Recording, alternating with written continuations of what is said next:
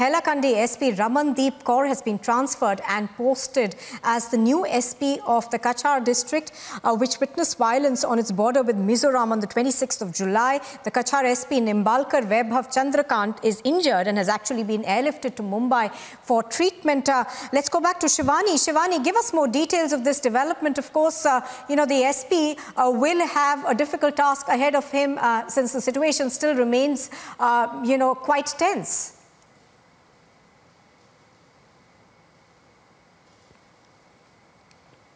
the whole uh, situation out here. I'll uh, try and uh, show you the officials who are present here. And uh, uh, uh Ramandeep Kaur is also present here. The new transfers that, that, had, that had come late yesterday, where the Assam's Hailakandi SP Ramandeep Kaur has been transferred and she has been posted as the new SP in Cachar district. And this is the place we are present right now.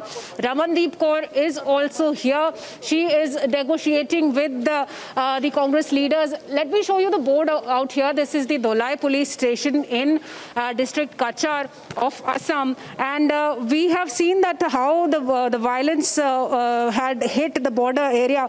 And Cachar SP Nimbalkar Vaibhav Chandrakant was injured in the violence and he is in Mumbai. He had been taken to Mumbai in a special aircraft of the Air Force where he was last reported. He was undergoing treatment. He was in the ICU. He was hit by a bullet.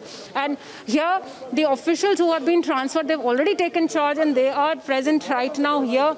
We'll try and show you the images and the uh, negotiations and the uh, deliberations that are taking place here at uh, Dholai of uh, Cachar district. But definitely, the situation doesn't seem uh, out of ease, though it is under control, but the trend, tension prevails. A lot of politics has also begun.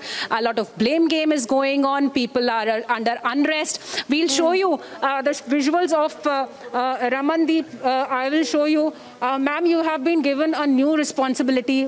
Do you have to say about the whole situation that's going on?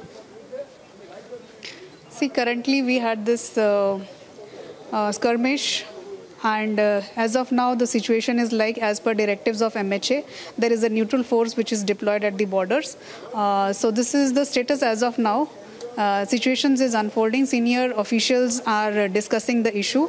Uh, um, we are sure there will be a resolution very soon. Ma'am, there are evidences that the LMGs were being fired upon. So have you been looking into that aspect also? We are looking into that aspect. We are we are investigating into that aspect. Can there be an international uh, angle to it also? Rohingyas have been active in the... See, we are investigating in, from all aspects. We are yet to investigate. We so, are uh, with the reshuffling of the opportunities and your uh, this thing, has it become uh, uh, more challenging? What else do you have to now cover with this new posting? We'll have to see as the situation evolves. We'll have to see. So you are not letting the Congress delegation move ahead? It's not about Congress delegation, it's about any other delegation.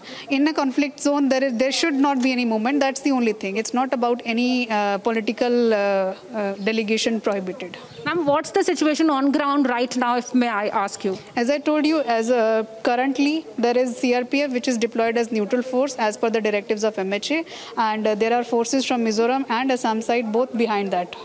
So that is the status as of now.